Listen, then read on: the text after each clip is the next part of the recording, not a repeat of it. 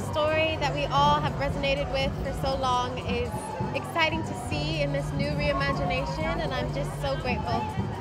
The fact that I'm able to represent for Ariel and for my community, for all the black and brown little girls and boys to be able to see themselves as a Disney princess is spectacular. And then the rest of the amazing diverse cast like Noma and Javier and Melissa, it's a beautiful melting pot of what we all represent and it's it's stunning. I'm just so excited that people are going to be able to see.